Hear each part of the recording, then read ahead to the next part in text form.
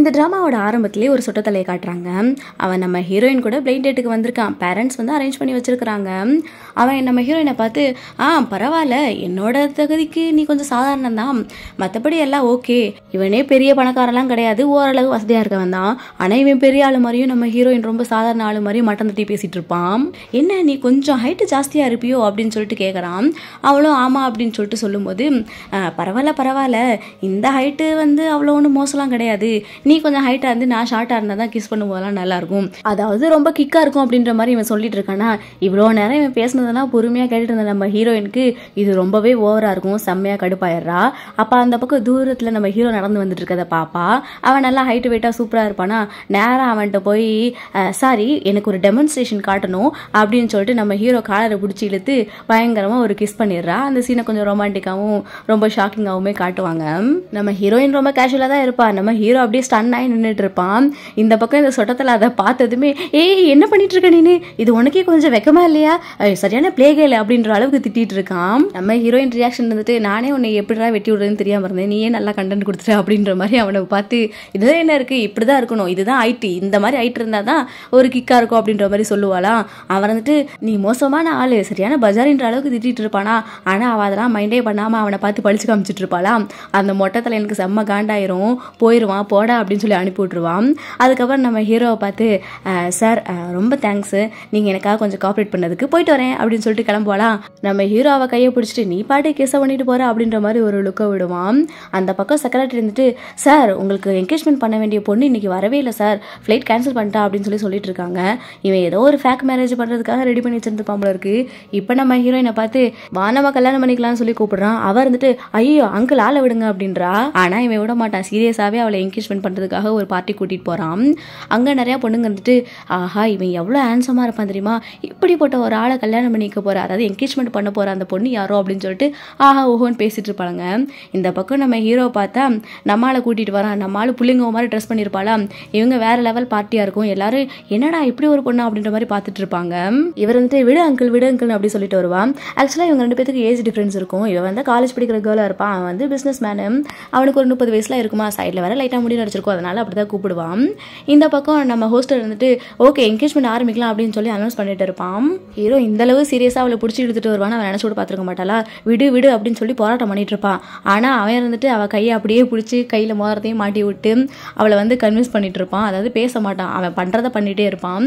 அப்போ இவருன்ட்டு மோதிரத்தெல்லாம் கழட்டு ட்ரை பண்ணுவான் ஆனால் டக்குன்னு நம்ம ஆள் ஹீரோயினை கிஸ் பண்ணி விட்டுறான் இந்த சீனை பார்க்கும்போது கொஞ்சம் க்யூட்டாகவும் இன்னும் கொஞ்சம் ரிவெஞ்ச் எடுக்கிற மாதிரி தான் இருக்கும்.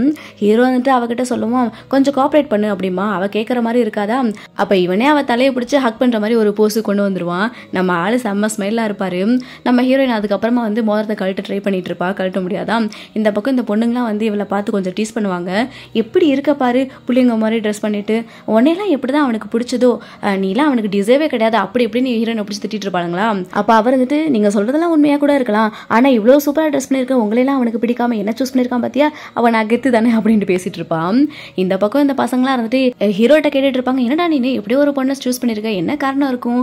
உங்கள் தாத்தா கம்பேர் பண்ணவுமா இப்படி இறங்கிட்ட? அப்படிங்கும்போது தாத்தா கேட்குறது ஒரு பேர பிள்ளை அதுக்கு எந்த பொண்ணாக இருந்தால் என்ன? அப்படின்ற மாதிரி சொல்லிட்டு இருப்பான் அப்படி இந்த பொண்ணு மேலே என்ன இருக்குது எதுக்கு இவ்வளோ சூஸ் பண்ணேன்னு கேட்டுட்டு இருப்பானுங்க அப்போ நம்ம ஹீரோ வந்துட்டு அவ குட் கிஸ்ஸர்டா அப்படின்னு சொல்லி சொல்லிட்டு இருப்பான் உடனே அந்த ஃப்ரெண்டு சொல்கிறான் உனக்குள்ளே இப்படி ஒருத்தர் இருக்கான்னு எனக்கு இது நாள் வரைக்கும் தெரியாமல் போச்சுடா அப்படின்னு சொல்லிட்டு டீஸ் பண்ணிட்டு இருப்பான் அங்கே பாரு உன் லிட்டில் ஒய்ஃபை நிறைய பேர் அங்கே டார்ச்சர் பண்ணிட்டு இருக்காங்க நீ ஹெல்ப் பண்ணலையா? அப்படின்னு சொல்லி சொல்லுவான். அதுக்கு வந்துட்டு அதெல்லாம் அவசியமே இல்லை அப்படின்னு சொல்லி சொல்லுவானா? ஆக்சுவலாக அந்த கேர்ள்ஸ் ஹீரோயின் மேலே தண்ணி ஊற்றிடுறானுங்களா பதிலுக்கு இவ வந்துட்டு அவளுக்கு ரெண்டு பேர் தலையும் பிடிச்சி முட்டி விட்டுட்டு போங்கடி அப்படின்ற மாதிரி சொல்லிட்டு போகிறான் இதை அவனுங்க பார்த்துட்டு ஏ உண்மையிலே இந்த கேர்ள் இன்ட்ரெஸ்டிங் தான்டா. இதுக்காக தான் நீ இவ்வளோ சூஸ் பண்ணியிருக்கியோ அப்படின்னு சொல்லி சொல்லிட்டு இருப்பாங்க. நம்ம ஹீரோ அப்படியே ஆமாண்டான்ற மாதிரி அவளோட கெத்தை நினச்சி கொஞ்சம் ஸ்மெல் பண்ணிட்டு இருப்பான். அப்புறம் நம்ம ஹீரோ வந்துட்டு செக்ரட்டரி கிட்ட அவளுக்கு ட்ரெஸ் சேஞ்ச் பண்ண ரெடி பண்ணு அப்படின்னு சொன்னதுக்கப்புறம் அவன் ரெண்டு மூணு பேர் அவளை தூக்கி கொண்டாந்து ஒரு ரூமுக்குள்ளே போடுறாங்க. ட்ரெஸ் சேஞ்ச் தான் பண்ணிட்டு நம்ம ஆள் சூப்பராக வெளியே வருவான்னு பார்த்தா அங்கேருந்து பால்கனி வழியாக தப்பிச்சு ஓடிடுறா. இந்த பக்கம் செக்ரட்டரி வந்து இதை இன்ஃபார்ம் பண்ணும்போது நம்ம அவங்கள தேடி கண்டுபிடிக்கணுமா அப்படின்னு சொல்லி கேட்குறான் அதுக்கு நம்ம ஹீரோ வந்துட்டு அவ அட்ரஸை கண்டுபிடிச்சி அவங்க வீட்டுக்கு டவுரி அனுப்பு அதாவது மேரேஜுக்கான கிஃப்ட் அனுப்பு அப்படின்னு சொல்லி சொல்கிறான் உடனே நம்ம செக்ரட்டரி வந்துட்டு ஆஹா அவங்க மேலே உங்களுக்கு இவ்வளோ இன்ட்ரெஸ்டா அப்படின்ற மாதிரி சிரிச்சுட்டே ஒரு ரியாக்ஷனை விடுறான். இந்த பக்கம் நம்ம ஹீரோயினை வீட்டை காட்டுறாங்க. ஹீரோயினுக்கு வந்து அம்மா கிடையாது. சித்தி மட்டும்தான். இவங்க அப்பா பொண்ணு மேலே நல்லா பாசமாக தான் இருப்பார். பொண்ணு வரும்போது அவளை அடிக்கிறதுக்காக கையை ஓங்கிட்டு எவ்வளோ தைரியம் இருந்தால் உங்கள் சித்தி உனக்காக கஷ்டப்பட்டு ஏற்பாடு பண்ணி வச்ச அந்த பிரெயின் டேட்டெல்லாம் கெடுத்துட்டு வந்திருப்ப? இது என்னடி ட்ரெஸ் இதை போட்டு போயிருக்கா அப்படின்னு சொல்லி மிரட்டிட்டு இருப்பாளா? பத்தாத்துக்கு அவங்க சித்தி வேற பக்கத்தில் வந்துட்டு நல்லா கேளுங்க ரொம்ப திமிரு அப்படின்ற மாதிரி நின்றுட்டு இருப்பாங்க. நம்ம ஹீரோ வந்துட்டு இவங்க எனக்காக பார்த்து வச்சிருக்க மாப்பிளைய பாருங்க அப்படின்னு சொல்லிட்டு அந்த டீட்டெயில்ஸ் எல்லாம் காட்டின உடனே அவங்க அப்பா அதை பார்த்துட்டு ஷாக் ஆயிடுறாங்க. அப்போ உடனே சொல்கிறாங்க நான் ஒன்றும் இதை அனுப்பல. நான் நல்ல பையனை தான் பார்த்து வச்சுருந்தேன். அந்த புரோக்கர் இப்படி மிஸ்டேக் பண்ணியிருக்கான் அப்படின்னு சொல்லி சொல்லிட்டு இருக்காங்க. அவங்க அப்பாவுக்கு செம்ம கோபமாகுது இந்த ஆளை பார்த்தா கிட்டத்தட்ட என் வயசு பக்கம் இருக்கான். அப்படி ஒரு ஆளையாடி இவளுக்கு நீ மாப்பிளை பார்ப்ப அப்படின்னு சொல்லி திட்டிட்டு இருக்காரு. சித்திக்கு பலார்னு அரை வேலை விட்டு வைப்பாரு. ஆக்சுவலாக வந்து இவ வேணும்னே தான் நம்ம ஹீரோயினுக்கு இப்படி ஒரு அரேஞ்ச்மெண்ட்லாம் பண்ணி வச்சிருப்பான். நம்ம ஹீரோயின் ஸ்மார்ட்டாக எல்லா டீட்டெயில்ஸும் கொண்டு வந்து அப்பாட்ட கொடுத்து நல்ல பேர் வாங்கிட்டு போயிடுவான். அப்போ ஹீரோயினோட அப்பா சொல்கிறாங்க இனிமேட்டுக்கு இவளுக்கு மாப்பிளை பார்க்குற வேலையை பார்த்த உன்னை தொலைச்சிருவேன் அப்படின்னு சொல்லிட்டு போயிடுவாங்க. ஹீரோயினும் போயிடுறான். இவங்க இங்கே நின்று யோசிச்சுட்டு இருப்பாங்களா? பார்த்தா காலிங் பெல் அடிக்கிற சத்தம் கேட்கும். என்னடான்னு போய் டோர் ஓப்பன் பண்ணால் நிறைய பேர் அப்படியே லைனாக வந்து நின்றுட்டு இருப்பாங்க. அவங்க டவுரி அப்படின்னு சொல்லிட்டு எல்லாத்தையும் ஓப்பன் பண்ணி பார்த்தா அப்படியே தங்கம் தங்க கட்டி நகைகளாக இருக்குமா? இவங்க சித்தி அப்படியே ஸ்டன்னாக நின்றுட்டு இருப்பாங்க. அப்போ செக்ரட்டரி சொல்லிட்டு இருக்கான் இதெல்லாம் உங்கள் பொண்ணுக்காக கொண்டு வந்தது தான் அவங்க பொண்ணை தான் எங்கள் சார் கல்யாணம் பண்ண போறாரு அப்படின்ட்டு ஹீரோவோட பேரையும் சொல்லி நம்ம ஹீரோயின் பேரை சொல்லிட்டு போயிடலாம். ஆனால் இவங்க சித்தி மிஸ் அண்டர்ஸ்டாண்ட் பண்ணிடுறாங்க. தான் பொண்ணுக்கு அப்படின்னு சொல்லி நினச்சிட்டு தன்னோட பொண்ணு வந்ததும் ஏ இங்கே பாரு. உனக்கு யாரோ என்கேஜ்மெண்ட் ரிங்கெல்லாம் போட்டாங்களாமே அப்படின்னு சொல்லிட்டு அவனோட பேரை சொல்கிறாங்க அப்படிலாம் யாரும் போடலாமா? அப்படின்னு சொல்லி சொல்லிட்டு இருக்கா நீ இப்போ ஆக்டராக வேற இருக்க. நிறைய ட்ராமாஸ்லாம் பண்ணிட்டு இருக்க உன்னை பிடிச்சி போய் தான் உன்னோட ஃபேன்ஸ் யாராவது இருப்பாங்க நல்லா யோசிச்சு பாரு அப்படின்னு சொல்லும்போது ஆமாம் ஆமாம் ஒருத்தன் இருக்கான் அப்படின்னு சொல்லி இவனும் சொல்கிறா அதுக்கப்புறம் தான் அவங்க அம்மா வந்துட்டு ஹீரோவோட பேரை சொன்னதுமே இவ தாம் தும்னு குதிப்பா. அவ்வளோ பெரிய ஆளா எனக்கா? ஆஹா அப்படி இப்படின்ட்டு பயங்கர கெத்து விட்டுட்டு இருப்பான் அதுக்கப்புறம் திமிரு ஜாஸ்தி ஆகி போயிடும் நம்ம ஹீரோயின் அந்த பக்கம் வந்துட்டு இருப்பாளா? என்ன நீ இந்த மாதிரி ட்ரெஸ்லாம் போட்டுட்டு இருக்க இது என்ன என்னோட பொருளாக நீ எடுத்து வச்சிருக்க அப்படின்னு சொல்லி கேட்கும்போது இது என்னோட பொருள் உனக்கு கண்ணு தெரியுதா? அப்படின்னு ஹீரோயின் திட்டுவா. ஏ நான் யார் தெரியுமா? இப்படிப்பட்ட ஒரு பணக்காரனை கல்யாணம் பண்ணிக்க போறேன். அவனுக்கு நீ என்கிட்ட இந்த மாதிரிலாம் பேசினது தெரிஞ்சதுன்னு வச்சுக்கோ. உன்னை ஒன்று இல்லைன்னு ஆக்கிறோம் அப்படின்னு சொல்லிட்டு ஹீரோ பேரை சொன்னோட்டி நம்ம ஹீரோயின் திரும்பவும் என்ன பேரை சொன்ன? சொல்லு அப்படின்னு சொல்லி கேட்குறா அப்போ திரும்பவும் அவள் பேரை சொன்னோட்டி ஆஹா இது அவனாச்சே அப்படின்னு சொல்லிட்டு நம்ம ஹீரோயின் ஒரு பக்கம் யோசிப்பான் ஸோ இவங்க தான் உன்னை வந்து இப்போ பொண்ணு கேட்டிருக்காங்களா அப்படின்னு சொல்லிட்டு கன்ஃபார்ம் பண்ணிக்கிறான். அவளும் ஆமா ஆமா அப்படி இப்படின்ட்டு பயங்கரமாக கெத்தெல்லாம் விட்டுட்டு இருப்பாளா? நம்ம ஹீரோயின் அதெல்லாம் கண்டுக்கவே மாட்டான் பார்த்தா அடுத்த நாள் அவங்க வீட்டுக்கு முன்னாடி நிறைய கார் வந்து நிற்கிது அதுவும் ஒரு காரில் செம்ம டெக்கரேஷனோட வந்து நிற்கும்போது அதுல இருந்து நம்ம ஹீரோ வந்து இறங்குறாரு. அங்கே இருக்க பொண்ணுங்களாம் வந்துட்டு வா இது எவ்வளோ ஹேண்ட்ஸமான ஆள் பாரு. பேரை மட்டும் தான் பார்த்துருக்கேன். அதுக்கு ஏற்ற மாதிரி ஆளும் செம்மையாக இருக்காரு அப்படி இப்படின்னு சொல்லிட்டு இருக்காங்க. நம்ம ஹீரோயின் மேலே நின்று இதெல்லாம் பார்த்துட்டா பணக்காரங்க கல்யாணம்னா இப்படி தான் இருக்கும் போல இருக்கு அப்படின்னு சொல்லிட்டு அவள் பாட்டுக்கு யோசிச்சுட்டு இருப்பான் ஆக்சுவலி இதெல்லாம் நம்ம ஹீரோயின் மொட்டை மாடல இருந்து பார்த்துட்டு கொஞ்சம் சிரிச்சிட்டு இருப்பாங்க. நம்ம ஹீரோ கரெக்டாக வீட்டு பக்கத்தில் வரதை பார்த்துட்டு ஐயோ நம்ம இப்படியே இருந்தால் மாட்டிடுவோம் அப்படின்னு சொல்லி நினச்சிட்டே இருப்பா. அவள் கையில் வச்சிருந்த பேக்கெல்லாம் கீழே விழுந்துரும். நம்ம ஹீரோ அதை கரெக்டாக பார்த்துட்டு அவளையும் பார்த்துடுறான். ஐயோ அவன் என்னை கண்டுபிடிச்சிருக்க மாட்டான்ல. கண்டிப்பாக கண்டுபிடிச்சிருக்க மாட்டான் அப்படின்னு உடனே உள்ளே ஓடி போயிடுவா.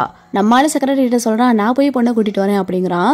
ஆனால் முன்வழியை போகாமல் ஏதோ பின்வழியில் போகிறான் அப்போ ஹீரோ வந்துட்டு என்ன சார் சார் சொல்கிறீங்க அப்படிங்கும்போது ஆமாண்டா நான் அவளை பார்த்துட்டேன் அப்படின்னு சொல்லிட்டு இவ பாட்டு கிளம்பிட்டு இருப்பான். ஹீரோ வந்து எஸ்கேப் தான் ஆக போறா அப்படின்னு சொல்லி கெஸ் பண்ணியிருப்பான். முன்னாடியே சொல்லாம தானே ஓடி வந்திருப்பா.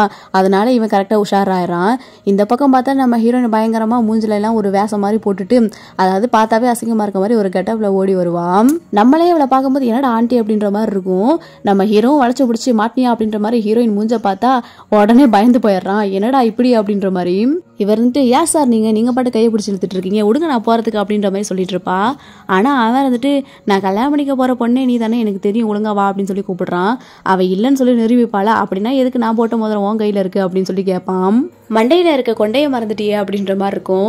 ஆக்சுவலாக ஹீரோயின் எவ்வளோ டைம் கழட்டி கழட்டி பார்த்துருப்பா அதை கழட்டவே முடிஞ்சிருக்காது. ஸோ இப்போ ஹீரோயின் என்ன சொல்கிறா இந்த மோதத்தை நான் கழட்டி கொடுத்துட்றேன் என்னை ஆளை விடு சாமி அப்படின்பா ஆனால் அவர் வந்துட்டு அப்படிலாம் முடியாது. நீ தான் வந்து கல்யாணம் பண்ணிக்கணும் அப்படின்ற மாதிரி சொல்லிட்டு இருப்பான்.